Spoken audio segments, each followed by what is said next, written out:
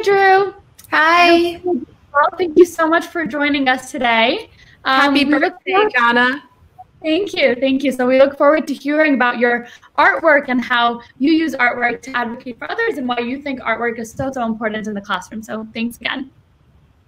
Thank you so much, Jana. It's so wonderful to be here for the 17 for 17 advocating for girls' education.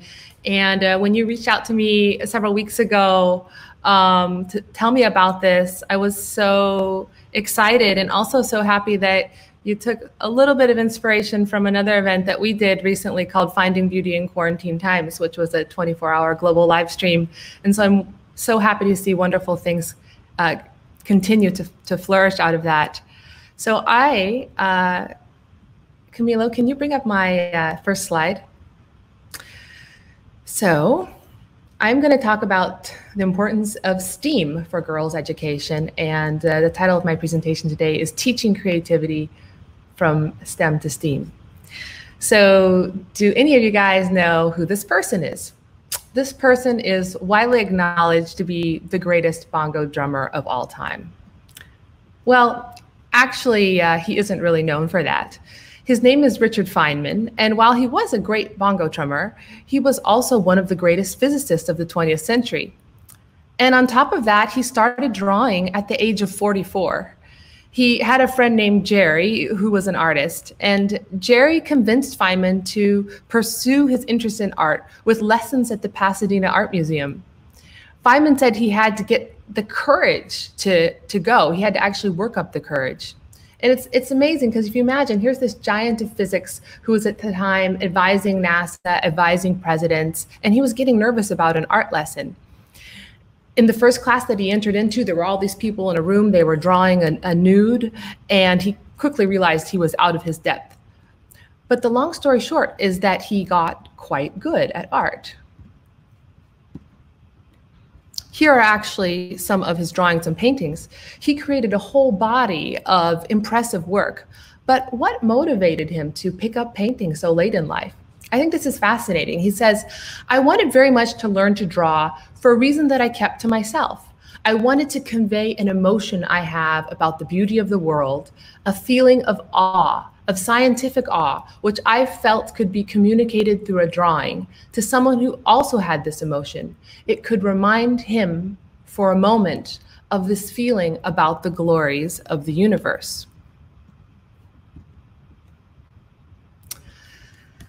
But did art really help Feynman become more creative? Did it influence his physics? Well, it actually did. And this is a very interesting uh, statement here from one of his friends, uh, Albert Hibbs. And he says about Feynman that most scientists use the mathematical tools we have learned to work our way through a tangle of complex physical process.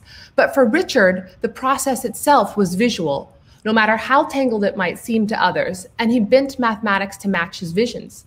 But some of his visions could be very well drawn, like the famous Feynman diagrams, which so greatly simplified the calculation of interactions between light and matter and helped him win the Nobel Prize. And that is a statement from Albert Hibbs, Hibbs, who was a noted mathematician, a friend of Feynman's, and also himself, he was a kinetic sculptor. And what about this guy? As a child, at the very early age of four, he began playing the violin and later said, Mozart's music is so pure and beautiful that I see it as a reflection of the inner beauty of the universe itself. Also, music wasn't a diversion or a hobby, it really helped him think.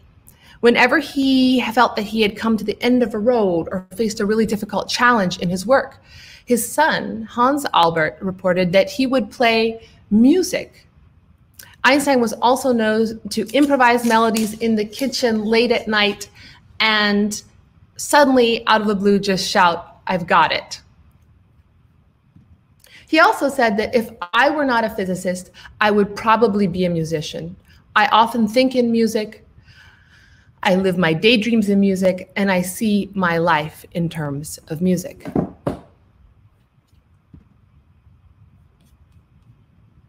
Some will say that's all good, but who knows what's happening in the minds of these geniuses? Maybe they're all weird. I mean, Don't we just need more solid engineers? Don't we just need to throw more bodies at scientific and technological progress? Shouldn't we spend all our resources on STEM, that is to say, science, technology, engineering, and math? Not really, because quantity does not equal qualitative leaps. And those are driven by people like Feynman and Einstein. So I'd like to make the case today to you for moving from STEM to STEAM in girls' education, in all education, in all education policy, in our classrooms all around the world being more interdisciplinary and less siloed in the way that we teach. So clearly, I've just shared with you some really strong anecdotal stories, but perhaps those are outliers. What is really happening at the aggregate level? Well, the aggregated statistical evidence shows that with scientists, the higher you go in terms of their accomplishments, the stronger their skills in the arts are. There's a superb study. It's really fascinating by Dr. Robert Root Bernstein of Michigan State University. He tracked the arts avocations of scientists. The scientists were considered to have an arts avocation if they or their biographer had described them as having a deep and profound interest in an art form. So we're not talking about hobbies here. You'll see in this diagram that the average scientist had an average of 0.33 arts avocations. That means one in three scientists in the general population. You can see that the, Nash, the average National Academy of Sciences scientists had 0.56 arts avocations. That means one in two. However, the average Nobel laureate scientist had 0.94 arts avocation. That means nine out of 10. Of course, a few had none and some had double, but nearly all. So if you look at this, this study also showed that Nobel laureates in the are 25 times as likely as the average person to sing, dance, or act, 17 times as likely to be a visual artist, 12 times more likely to write poetry and literature, eight times more likely to do woodworking or some other craft, four times as likely to be a musician, and twice as likely to be a photographer. And there are tons of engineering inventions where the arts played a significant role. Did you know that Alexander Graham Bell was a gifted pianist from the time that he was a teen, and that his observations about the piano directly inspired him to invent the telephone? Yes, the same telephone that has been changing our lives for generations, all the way up to today's smartphones. And did you know that Robert Fulton, the inventor of the steamboat, and Samuel Morse, the inventor of the telegraph, were accomplished painters.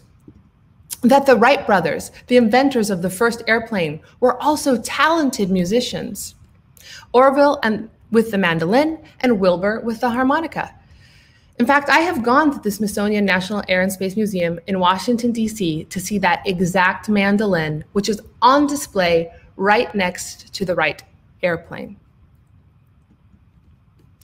And did you know that the single most influential course that Steve Jobs took in college was, by his own admission, a course in calligraphy? And that's a photo of Jobs' teacher at Reed College, whom he never forgot and credits him with inspiring him to entirely transform his thinking about the Macintosh. If you haven't watched Steve Jobs' commencement speech at Stanford University, check it out on YouTube because he tells the story there and is tremendously inspiring.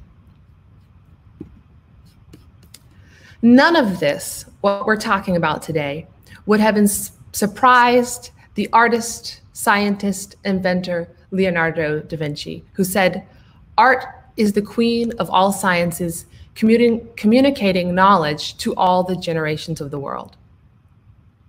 The bottom line uh, is that policymakers, few of whom have ever taken a quality science or arts class in their long past post secondary education are telling us that we should only encourage and invest in STEM. And that would have surprised Leonardo. If he were here today, I think he would find that downright shocking. And I think he would find it to be a step backwards.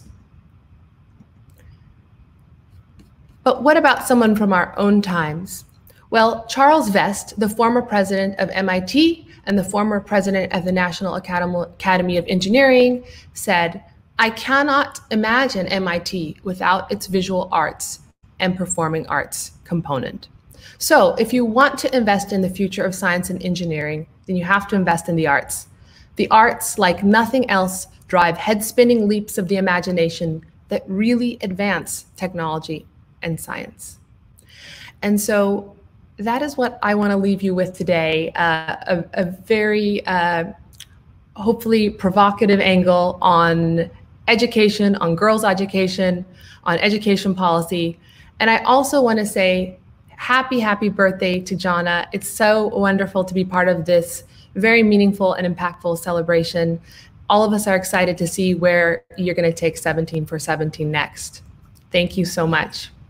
Thank you, Drue. Thank you so much for joining us and sharing with us why arts are so, so important. And I think we can all agree now that really we should bring the arts back and help more girls be educated um, in doing so. So thanks again for joining. And by the way, everybody, um, Drue mentioned this, but yes, the idea was inspired from her own birthday celebration a couple of weeks ago. And so we're really grateful for the inspiration too. I think that's often the way you know, um, mentorship works. And I think I'm very, very grateful to have amazing mentors like her from the young global leader community. So, Jana, can I just can I just say one thing, one thing real quick? Um, the important thing I think about this whole presentation is not so much just about the arts or mm-hmm. tech or engineering, but the importance of integrating them mm-hmm. and being interdisciplinary and looking for the connections.